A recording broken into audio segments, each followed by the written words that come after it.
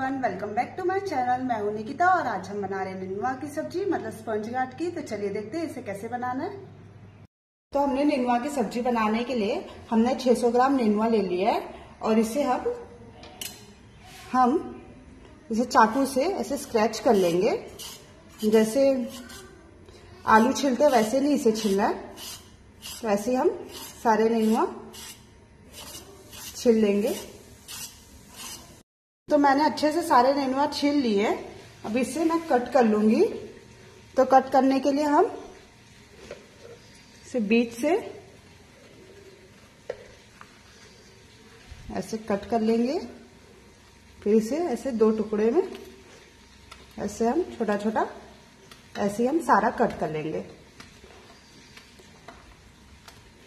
हमने इसे अच्छे से कट कर लिया है।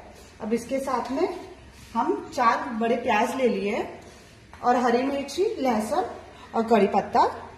तो चलिए अब बनाना स्टार्ट करते हैं तो हमने पैन ले लिया है, अब इसमें हम डाल लेंगे तेल।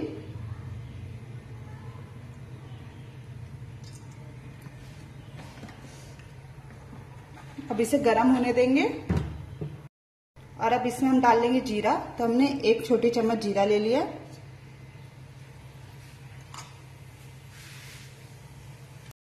और अब इसमें हम डाल लेंगे लहसुन।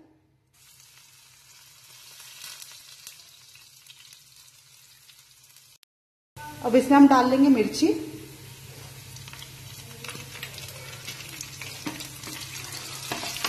हल्का भून कर इसमें आप डाल लेंगे कड़ी पत्ता।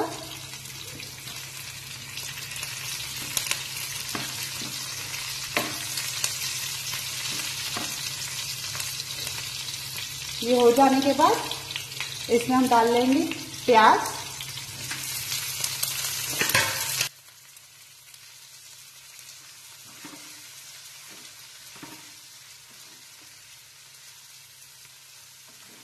तो अब इसे हम तब तक पकाएँगे जब तक ये लाइट ब्राउन ना हो जाए। हमारा प्याज हल्का लाइट ब्राउन हो चुका है। इसमें हम डाल लेंगे नेनुआ।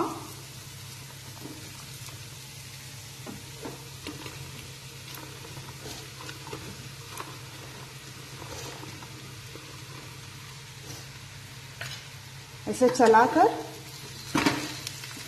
अब इसमें हम डाल देंगे नमक। और इसमें ज़्यादा नमक ना डालें, क्योंकि ये सब्ज़ी बहुत जल्दी गल जाती है। इसे मिक्स करके हम चार से पाँच मिनट के लिए ढक देंगे।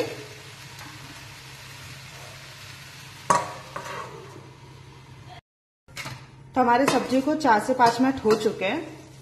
और आप देख सकते हैं, ये पानी छोड़ चुका है। ये सब्ज़ी अपने आप पानी रिलीज़ करता है। अब इसमें हम डाल लेंगे मसाले। तो हमने आधा चम्मच हल्दी ले लिया है। और लाल मिर्ची पाउडर आधा चम्मच। और आधा चम्मच गरम मसाला। ऐसे डाल के अच्छे से हम मिला लेंगे। अच्छे से सारे मसाले मिला लिए हैं। अब इसे छह से सात मिनट के लिए ढक के पका लेंगे मीडियम फ्लेम पर। तो हम अपनी सब्ज़ी को देख लेते हैं। तो आप देख सकते हैं, ये अपने आप पानी छोड़ रहा है। तो आप अगर चावल से खाना चाह रहे हैं तो आप रस्से की थिकनेस इतना रख सकते हैं।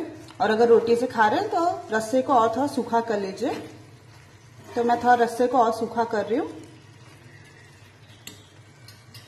तो इसे थोड़ा टाइम और पका लेते हैं बिना ढके। तो सब्ज़ी का रस्सा अच्छे से सूख चुका है और हमारी सब्ज़ी अच्छे से बनके तैयार हो चुकी है। तो अब इसे हम सर्व कर लेते हैं।